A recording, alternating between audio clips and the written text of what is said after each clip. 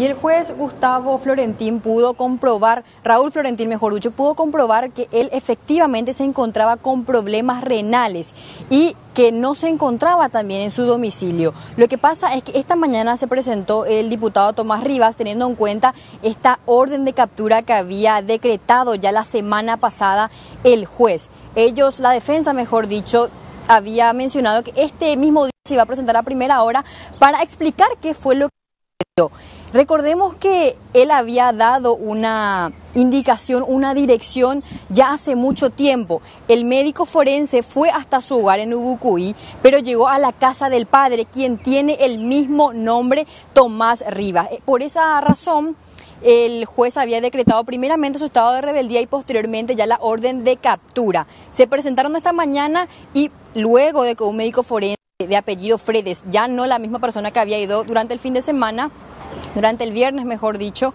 comprobaron que él sí estaba con este estado, estaba enfermo por cálculos renales. Escuchemos lo que mencionaba al respecto el juez Raúl Amarilla.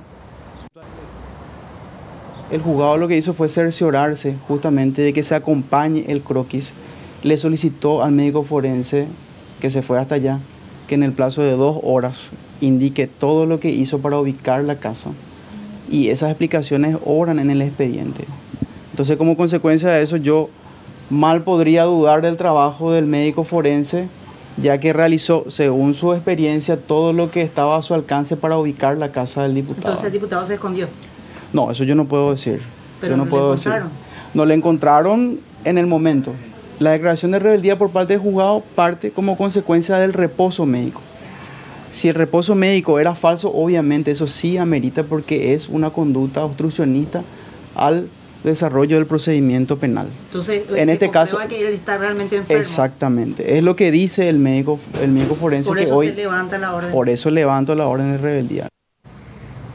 El abogado defensor del diputado Tomás Rivas había pedido que se investigue también esto de que el médico forense haya ido a la casa del padre y no a la casa del legislador, siendo que ellos habían dejado las indicaciones exactas. Y él decía, nosotros pusimos en el croquis que la dirección era Senador Fanego y no la calle Colón a la que él había ido. Sin embargo, nosotros posteriormente ingresamos al despacho del juez, él nos mostró la dirección y ahí solamente se podía apreciar que decía Camino a Ambuyapeí y directamente el barrio San Miguel. En ningún momento se hizo esa especificación de que sería en la calle en Senador Fanego y no en la calle Colón. Según estaba mencionando también el juez, el médico forense tuvo que llegar hasta la casa del legislador en Ubucuy preguntando a los pobladores quienes le la casa de Tomás Rivas padre y no la casa del legislador. Escuchemos lo que mencionaba sobre este tema en el abogado defensor Jorge Bogarín. Él tiene libertad ambulatoria como ya venía usufructuando. Quiero destacar que por una parte eh, nosotros habíamos hablado, advertido esa circunstancia a su señoría, el doctor Florentín, y eh, él emitió una orden que se presente hoy a primera hora, que es lo que hemos hecho. No, acá no hay ninguna situación de rebeldía y eso ha sido ratificada en la decisión del, del juez Florentín. El principal argumento, el principal argumento por el que queda libre él es entonces el error del forense en haber ido en un lugar equivocado.